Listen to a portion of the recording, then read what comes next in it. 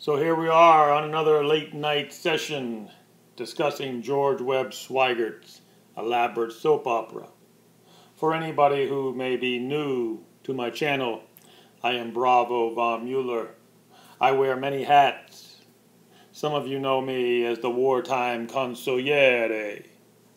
You may also know that I am a glitch in the matrix, for I have no job, I have no pension, and I have no hope. That's why I am the wartime consigliere for the 95 million Americans who are out of the workforce. Yes, that's who I represent. I represent almost 100 million Americans who have no job and have no hope. I am here to claw back what we deserve. We deserve half of everything they stole. But that's for another day. That story is for another day. Today, we are discussing the George Webb Sweigert elaborate soap opera. Today, we even found George was talking about the Council on Foreign Relations. You really cannot go into all the problems in America unless you bring up the Council on Foreign Relations. So it's obvious that he would bring that up. We're going to go over this chart just very, very briefly. What you'll notice on these charts that lead everywhere, it's all connected. Like all the banking systems and the corporations, they're all connected. But what you'll find out is the head, the very head of every corporation, including these corporations, is a dual citizen. This is what George Webb Sweigert and Jason Goodman will never, never, ever tell you that everybody at the top of the organization is a dual citizen and they control everything that way. There may be 10,000 people in that organization. All you need to do is control the top with a dual citizen. This is very, very important because no matter what George and Jason tell you, they will never tell you this. And of course, they have been known to promote Bitcoin, blockchain, digital currency. That is to be expected. If they're going to be part of the government system, how, we don't really know yet. But if they're part of the system, well, that is the agenda. That the Federal Reserve banking cartel, which is over 100 years old now, people are starting to catch on to the scam and it needs to be modified a bit, you know, like Bitcoin. But Bitcoin is just a trial run. Bitcoin is just an experiment, a CIA experiment. When the real government blockchain digital currency comes, I'm sure that they will be promoting it if they're part of the system.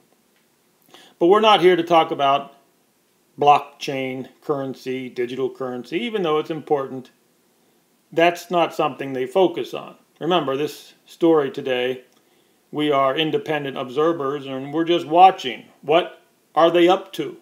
That's really all we do. We have to keep a close eye on them to see what they're up to.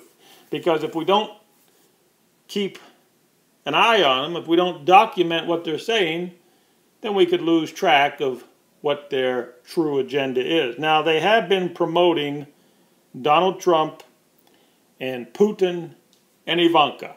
They even put a plug in there today in one of their videos.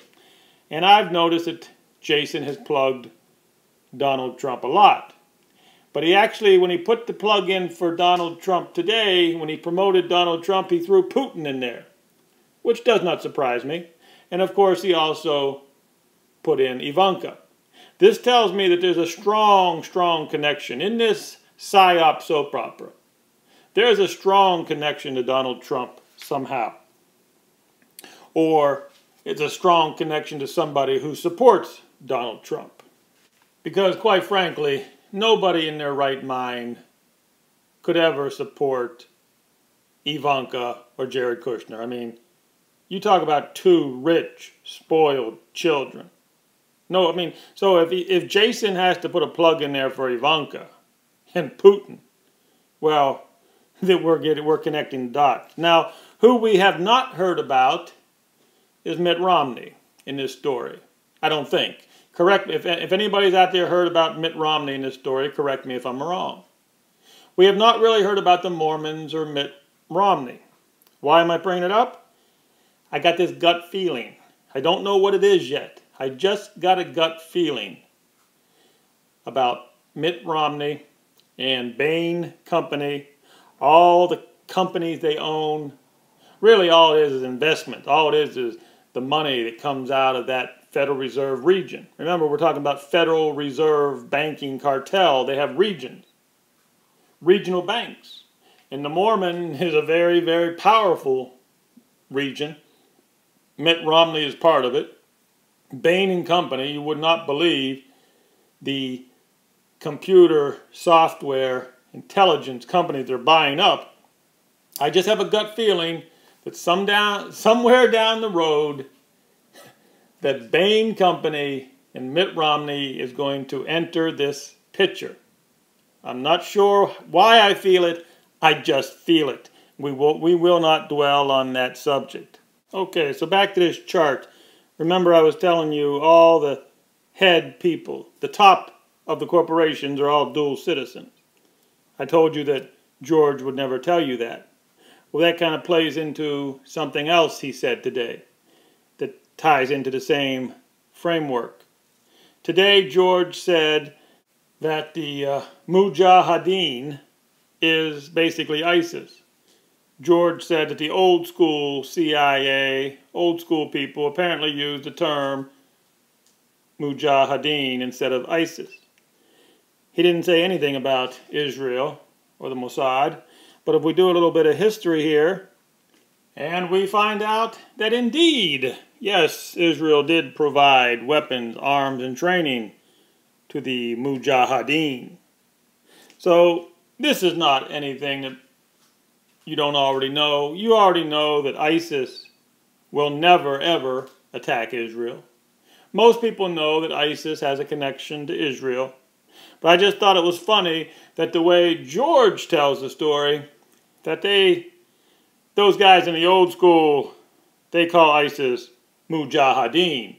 It's just another cover story to protect the masters. They never really want to talk about the masters by way of deception. Now, you know, they'll always have a response. If you if you talk about this in their live stream, they'll have a clever response. But indeed, one day they might even come out and say it. Yeah, damn it, we support the master. What are you going to do about it? One day, but not now. Right now, they're going to take it easy. Another thing, remember, George worked for a McAfee, but when it was called a different company. And I never heard of the McAfee blogs, but a lot of this ties into McAfee and network associates. We'll try to get to that later. Now, George is also breaking the story of Purple Shovel and Chemrings, this story about uh, a weapons depot. I think it's called All Guns in Bulgaria. Now, most of this information is coming from a reporter named Diana. Diana, a Bulgarian reporter. There, her name is Diana. George calls her the supermodel. She's very, very pretty. So, again, this is a breaking. It could be a breaking story. I don't know how long it's been. You've got a reporter, a pretty reporter out there. Where she's getting this information, we don't know yet, but George is running with it. George is running with the story. I'm just going to mention it. We're going to document it. That this is the story that George is going to try to go forward with. Purple Shovel, all guns in Bulgaria. Oh, he claims that a lot of the guns that are confiscated in America are ending up over in Bulgaria at all guns. Now, this is probably part of the story that I'm interested in, if it is true. Because the city, st cities and states and governments, they're confiscating guns. Lots of guns get turned in. And are these guns actually being shipped to Bulgaria? I don't know. But it is an interesting story. And uh, we'll have to keep on looking into it. That's the good thing about keeping an eye on George Webb Sweigert. We do keep abreast with current events breaking stories. If he does come up with something wrong, well, we we well, I haven't caught him. I mean, people we've caught him on small details that he was mistaken with, but no big mistakes has he made.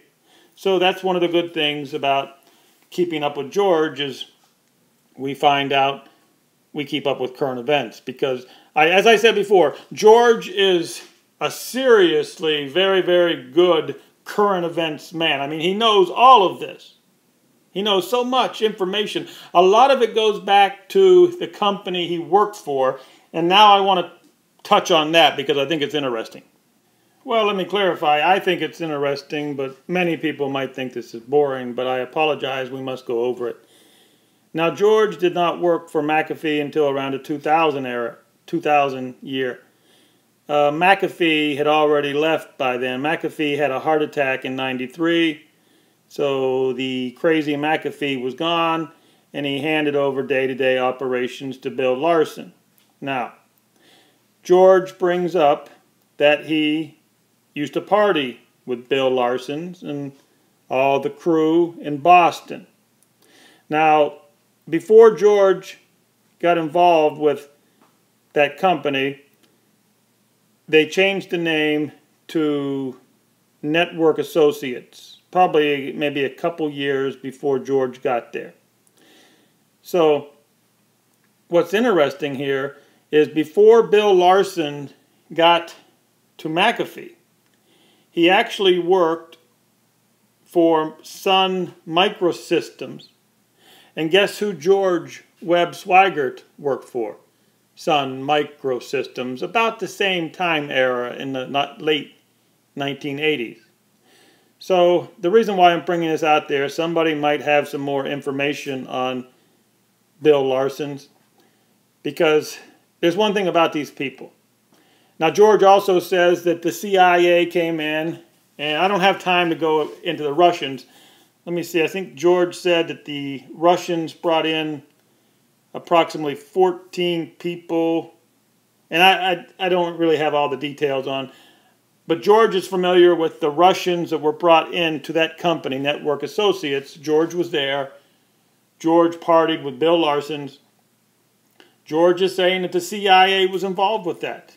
This is this is interesting stuff. This is pertinent. I mean, if the CIA is involved in Mac, the old McAfee company, which is Network Associates. Okay, look at this. The former chief financial officer about the same time, now the same time George was there. Now I'm sure George probably talks about this guy. I don't know how to pronounce the name. But this guy was caught in fraud. So I don't know why I'm putting this in there, but um, and I did not get to check to see if they put that guy on probation. If this is clearly a CIA operation, it's a good chance that the uh, chief financial officer probably got a little slap on the wrist in probation I forgot to check on that. Uh, maybe I'll do that later. The main thing I'm trying to tell you here is George has a connection to this company, Bill Larson's. George says that the CIA came in and basically basically took it over. They actually brought some Russians in. This is where George has got a lot of his intel. Okay, so let's go to George's uh, resume. Yes, George did work at Sun Microsystems from 88 to 95. Now, it's okay, so George ends up at Network General in 95. Now, this is very interesting. Network General in 1995. Now, two years later, McAfee buys Network General. So George is actually at Network General before McAfee buys it. Now, who's at McAfee? Bill Larson. So then Bill Larson's and McAfee buy the company George is at. Now remember, Bill Larson's worked at the same company George did back in the 80s, Sun Microsystems. We don't have a lot on William Lars Larson. The reason why I want to pop this out there is who knows? Maybe this is one of the dots we have to connect. But there are some connections there. George does not deny any of this. What, what I find interesting is George says that he partied with these guys in Boston.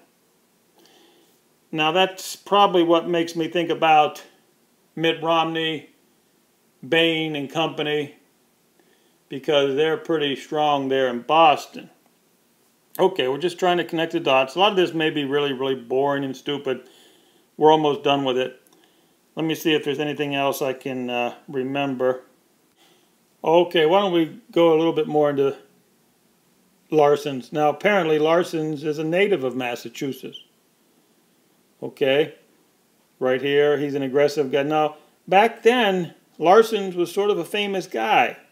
What confuses me about this is he just sort of dropped out of the picture. He's now a private investor. I'll repeat. Bill Larson's is a private investor, and he's been in George's life for a long time. You see where I'm going with this? I'm, I'm not saying that Bill Larson's is the money man behind the whole thing. I'm just saying he's a private investor now. He's keeping a low profile, no images on the internet. Hey, we're talking we're talking intelligent stuff here. But let's move on. This is getting getting a little boring. Okay, now why don't we get to some of the juicy stuff? You know, the fights going on between the teams. As you realize, I'm not even supposed to be in this equation. Make sure you make a note of that. The Jason team, the Defango team, they never ever mention my name, do they? Because I'm not supposed to be in this show. And that's correct. I am an independent observer. There have been attempts to actually shove me out of the way. But here we go anyhow. So now we're getting to the juicy part. Many people will call this like professional wrestling. You know how the old day the professional wrestling was fake, it was all set up? I cannot rule that out. But it is getting a little juicy. Now apparently Jason is trying to say that maybe Defango is Guccifer 2. I have no idea where Jason's getting this stuff. If, if it's all professional uh, wrestling, if this is all fake uh, professional wrestling stuff, then none of it really matters. It's all for theatrics. It's all drama, you know, made for TV stuff. But here we're going to tie. We're going to dive into what the uh, current events are between Defango and Jason, because apparently, if you take their words for it, Defango and the White Rabbit are extremely unhappy because Jason burned the White Rabbit. So now Defango is on a crusade to expose Jason Goodman. Now Jason Goodman gets mad because Defango apparently intercepted one of their contacts. Now remember we talked about the Bulgarian supermodel. I don't even know what her name is. But apparently Jason is claiming that Defango went in there and intercepted one of their messages. Defango pretended to be Jason, and then Jason went crazy on that. That's totally unacceptable. You cannot get in between me and my contacts. Here, what's her name? De Diana. And they use this character here. I don't know if it's the White Rabbit or Defango, but somebody's using that fake character there with the blue hat on uh, you know, it's a spoof, a spoof on Jason. But I don't know. This is all drama. This is all way too much drama for me, but we have to document it. And because of all this drama, which started when Jason burned White Rabbit, so uh, here we are. Okay, somebody did leave me a message, and I think we need to go over this. It's this is all information out there on the World Wide Web. So I'm not I'm not doxing anybody here. I don't think. Uh, this is just common knowledge. See what my connection is. I want to find out how did Jason get established in Hollywood. Normally it's through. I thought it might be through his parents, but we can see right now it's probably not through his parents. So if I had to guess, Jason's contacts through Hollywood may be an uncle or a cousin. We still have to find that out. Why is it important? Well, I'll tell you why it's important that we find out who's who was the contact that put Jason in Hollywood. What uncle was it? What cousin was it? Because that's an important name in the equation. Because going forward, if this turns into a reality TV show or if it turned into a B rated documentary, you can bet your bottom dollar that whoever it was that helped Jason into Hollywood, they're going to be in on it as producers. I know how this stuff works. So I don't think any of this is, um, this is all stuff that's already been out there. New skin. Oh, one thing, at least Lee Stranahan actually, I think, worked for Jason.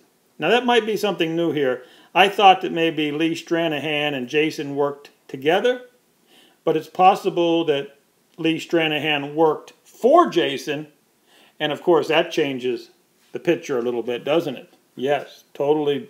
In my mind, it changes it. May not change anything to Lee and Jason, but if it makes a difference whether you're the boss or you're the worker, it makes a big difference. Okay, now talk about big dogs. Uh, remember this chart again, I forgot to mention. Look at the name at the bottom there, Amy Goodman. Now, apparently, Amy Goodman is not related to Jason. It's what Jason says, they're not related. But they did meet in a coffee shop, didn't they? I don't believe in coincidences. I just need, people need to know that Amy Goodman is a big dog. She's not to be trusted. We talked about her before. Okay, I don't think that we've actually documented clearly enough that at one time in the game that George and Jason were affiliated with uh, the InfoWars and, you know, Alex Jones Dean, Mike Cernovich here. So the reason why I think we should bring this up again is because it's getting clearer and clearer as Jason is promoting Donald Trump and Putin and Ivanka. InfoWars, doing the same thing. So that's our connection. InfoWars is somehow getting paid by the Trump people because InfoWars is doing nothing but promoting and being a prostitute for Trump. Every time I turn around, Jason Goodman is promoting Trump, Ivanka being a prostitute for them. That has to be the connection. Now, George is staying, George and Jason are staying away from InfoWars now, probably because of the Mars controversy. You know, sending, you know, kidnapping the children, sending them to Mars to be a slave colony. I think they need to stay away. They're probably saying, hey, let's stay away from this crew for a while. But you still have a standard operating procedure selling something, selling the vitamins. So they're, they're working off of each other somehow, but the connection is Donald Trump. I'll leave you with that. That's the connection, Trump.